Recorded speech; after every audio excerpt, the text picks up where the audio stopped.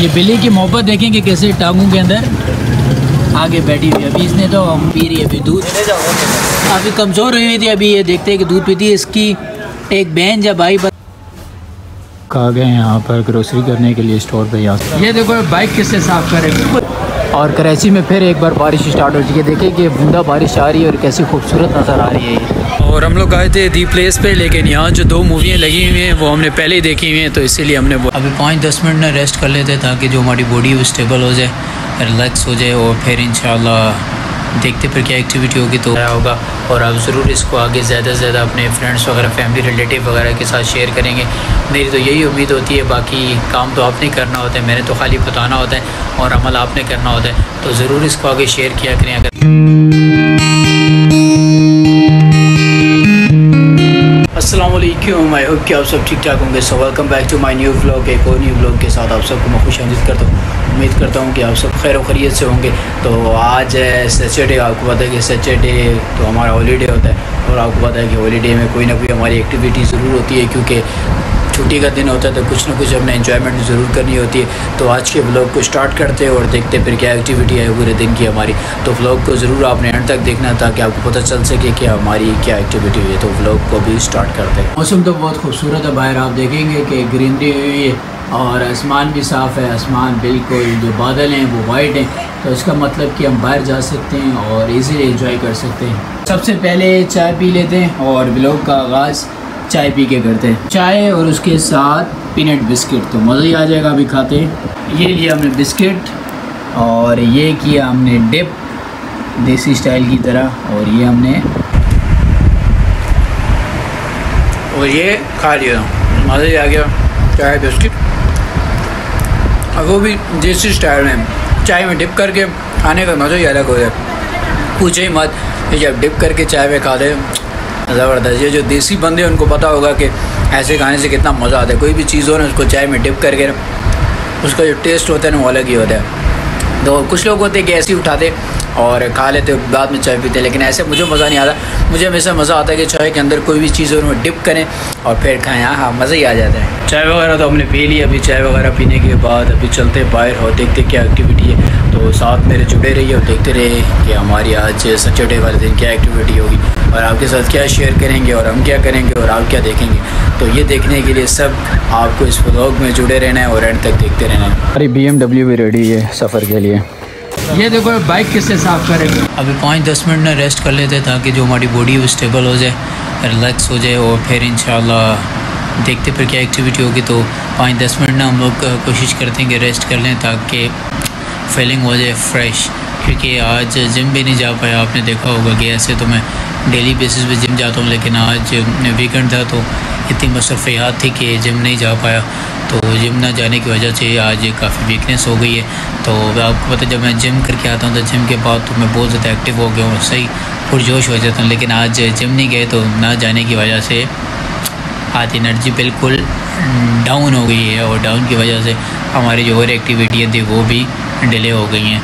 तो अभी थोड़ा रेस्ट कर लेते हैं, क्योंकि रेस्ट करने के बाद तो सही हम फ्रेश हो जाएँगे पाँच दस मिनट बाद। तो फिर इन देखेंगे कि क्या एक्टिविटी होगी और क्या करते हैं फिर अभी। अभी हम लोग जा रहे हैं ग्रोसरी करने के लिए। हाँ मेरे दोस्त है, उसके साथ जा रहे हैं, उसने थोड़ा सामान वगैरह लेना ग्रोसरी लेनी है। तो अभी जा रहे हैं वहाँ पर ग्रोसरी करने के लिए तो वहाँ का भी आपके लिए ब्लॉग रेडी कर देंगे। इतना नहीं कर पाएँगे, लेकिन जितना होगा मैं आपको बता दूँगा। तो अभी चलते हैं, वहाँ पर ब्लॉग वगैरह बनाते और देखेंगे फिर वहाँ से अगर कहीं घूमने वगैरह गए जा कहीं खाने पीने गए तो अभी तो ऐसे मैं बाहर का नहीं खाऊँगा, अभी मैंने मैंने बाहर का खाया तो थोड़ा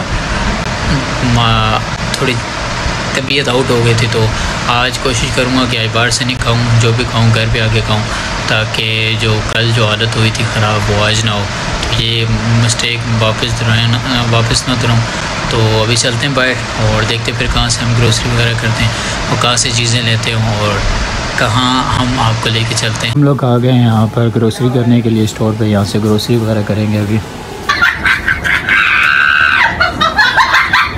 और जो हमने लेना था यहाँ से ग्रोसरी वगैरह करनी थी वो भी कर लिया अभी चलते हैं वापस। और हम लोग आए थे दी प्लेस पे लेकिन यहाँ जो दो मूवियाँ लगी हुई हैं वो हमने पहले ही देखी हुई हैं तो इसीलिए हमने बोला कि आज मूवी को करते हैं कैंसिल व्यू है कबाब जी का नाइट में।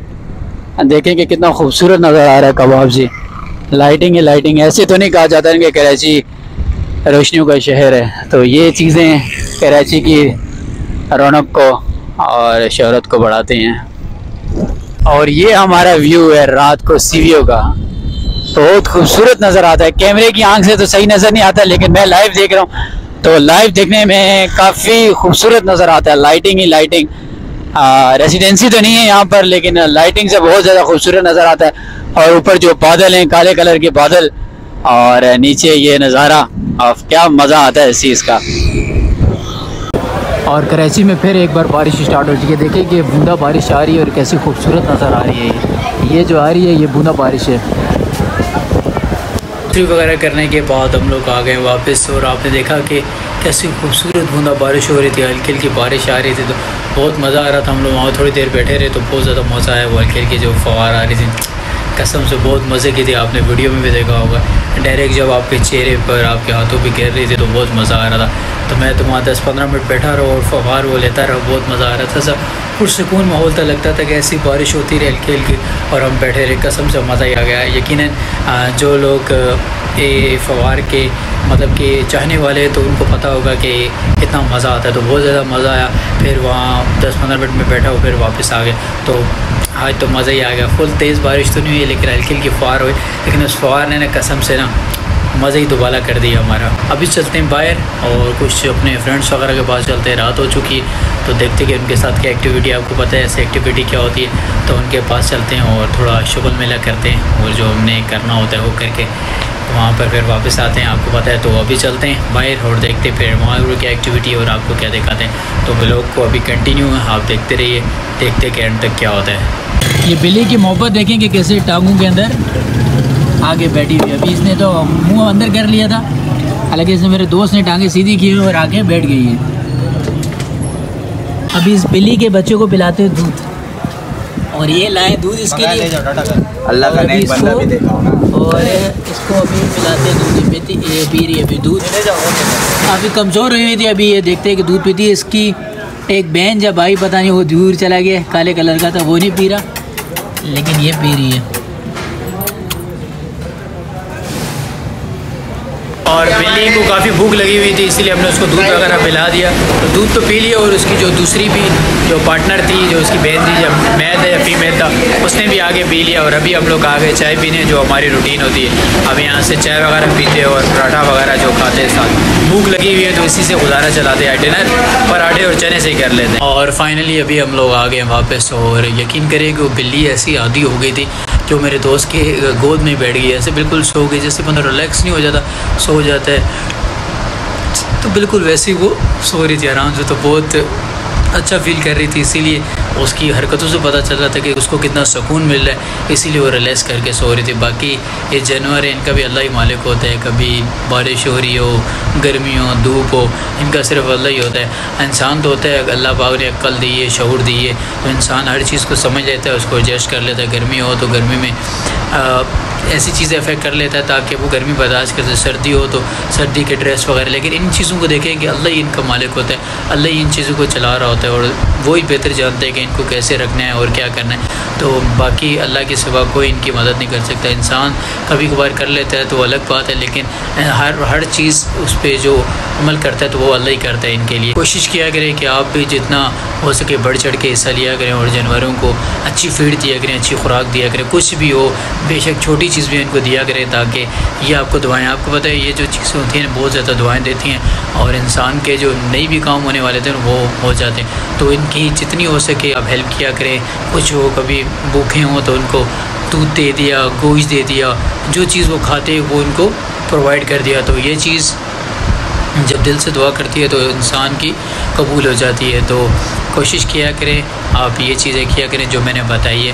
तो आई होप कि इन आप ये चीज़ करेंगे और जो नहीं भी करते, वो इस चीज़ को अपना लें, देखना कि आपकी ज़िंदगी में कैसे आसानियाँ पैदा हो जाएँगी। बाकी है कि आज का वीकेंड भी जैसे हम लोग एंजॉय करते नहीं कर पाए, क्योंकि ऐसी मुसरफियात या आज के सही तरीके से हम कहीं बाहर नहीं जा पाए और आपके लिए सही करके ब्लॉग रेडी नहीं किया लेकिन जो भी वो अच्छा हुआ। शुक्र अदा करना चाहिए, जैसा भी बना। लेकिन यह है कि मैंने कोशिश की कि कहीं आउट जाऊँ और आपके लिए बनाऊँ, लेकिन मसरूफियात ऐसी कि नहीं जा पाए। खाली ग्रोसरी वगैरह की और जो डेली एक्टिविटी वही आपको दिखाए। तो उम्मीद करता हूँ आपको तो मुझे ही देखने तो मैं बाहर जाऊँ, जगह पर रहूँ, जहाँ भी रहूँ, आपने मुझे देखना है तो आपको पता होना चाहिए कि इसकी क्या एक्टिविटी होनी चाहिए। तो उम्मीद करता हूँ कि ये व्लॉग भी आपको पसंद आया होगा और आप ज़रूर इसको आगे ज़्यादा से ज़्यादा अपने फ्रेंड्स वगैरह फैमिली रिलेटिव वगैरह के साथ शेयर करेंगे। मेरी तो यही उम्मीद होती है, बाकी काम तो आपने करना होता है, मैंने तो खाली बताना होता है और अमल आपने करना होता है। तो ज़रूर इसको आगे शेयर किया करें। अगर आप चाहते हैं कि मैं आगे जाऊँ और अल्लाह पाक मुझे तरक्की दे तो आप लोगों की सपोर्ट की ज़रूरत है। आप जितना आगे शेयर करेंगे, उतना मेरे लिए अच्छा है। अभी हो चुकी है रात काफ़ी और अभी मुझे सोना भी है। सोने से पहले ब्लॉग भी रेडी करना है। फिर आपको लिए अपलोड भी करना है सुबह तक। तो काफ़ी टफ़ लाइफ हो जाती है, आपको पता है कि और जॉब घर की एक्टिविटी ब्लॉगिंग करना, फिर उसको बनाना एडिटिंग करना, फिर अपलोड करना तो काफ़ी टफ़ लाइफ हो जाती है आपको। अगर जो चीज़, जो लोग करते तो उनको पता होगा कि ये कितनी टफ़ लाइफ हो जाती है। तो इन कल फिर मुलाकात होगी, कल संडे है तो कल क्या पता अच्छा ब्लॉग आपके लिए रेडी कर सकूँ, कोई अच्छी जगह पर जाएँ। तो अपना बहुत सारा ख्याल रखिएगा और मुझे ज़रूर अपनी दुआओं में याद रखिएगा। तो इन कल मुलाकात होगी एक और न्यू ब्लॉग के साथ। जब तक के लिए मुझे इजाज़त दीजिए। अल्लाह हाफिज़।